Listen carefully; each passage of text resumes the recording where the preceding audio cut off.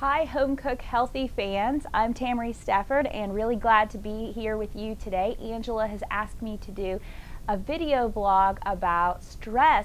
So, do you feel like there are more tasks in the day than there are hours? Um, I would guess your answer is yes, like most of us.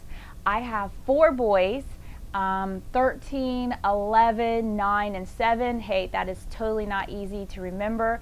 Um, and I homeschool them. I'm busy with my church. I work out. I try to be healthy, and it's just a lot. So I imagine that your life is somewhat similar and maybe you have different things that make it busy, but we're all busy.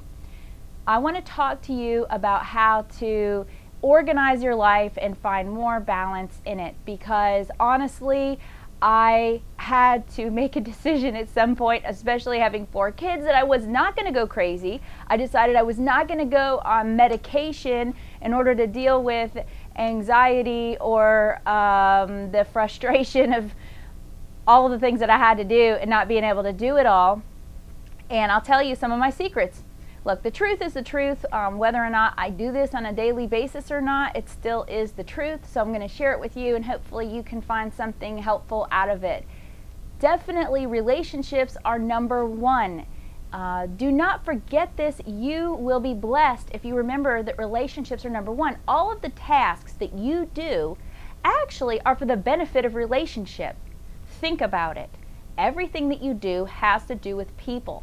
So if you're successful at your tasks, but you ruin the relationship with the people around you, you really failed at your task. Although you may have completed it, you were not successful.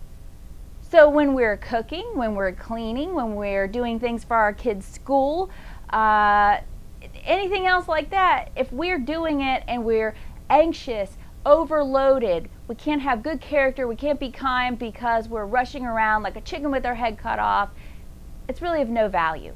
And of course, we know that this greatly affects our health.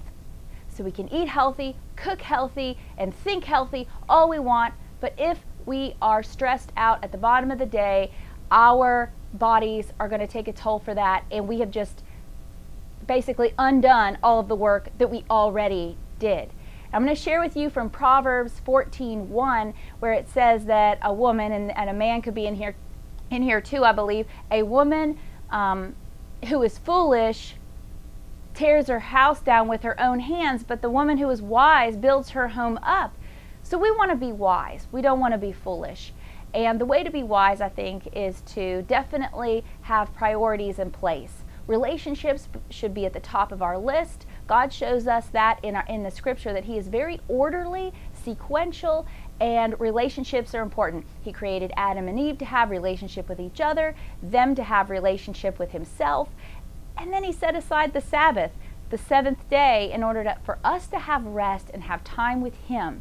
We can learn from that example and definitely find rest within our lives and focus on having relationship.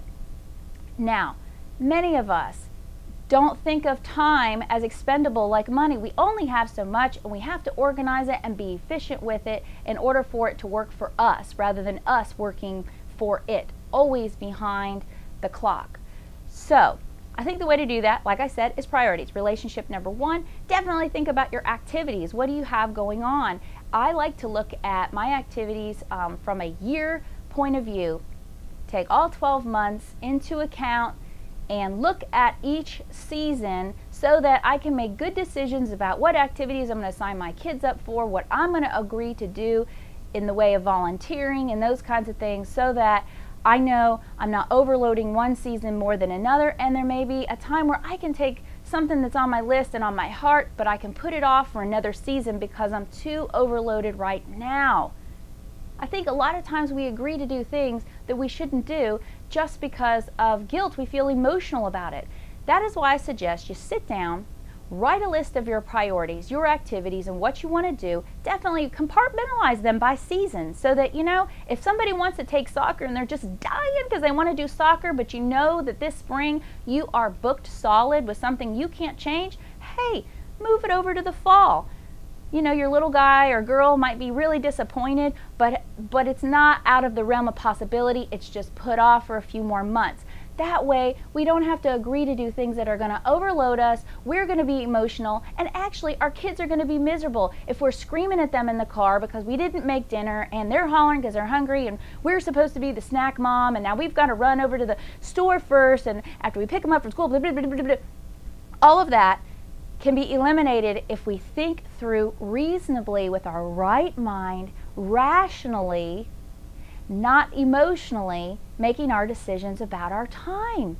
It's not okay. We can't do that with our money or we will go in debt if we just make emotional decisions. I want that now, so I'm going to buy it.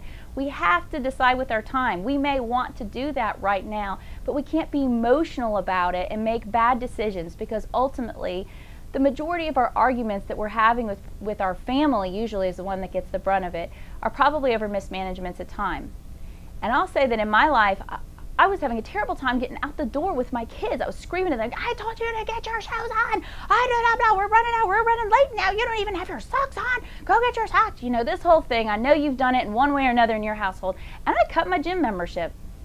And you know, my life was fantastic. I found a different way to work out just out of my home for a little while while my kids were old enough finally to put on their own shoes and really get out get together in a timely manner. Then i can look at doing a gym membership again. That was just a decision i made. I mean actually today i look like this. You know i wanted to look nice for y'all actually but um look I, i'm about to go work out and i've got homeschool to do this afternoon and so i'm going to just you know do this video this morning just like I am for time efficiency's sake because as much as I love you, you're not in my priority list.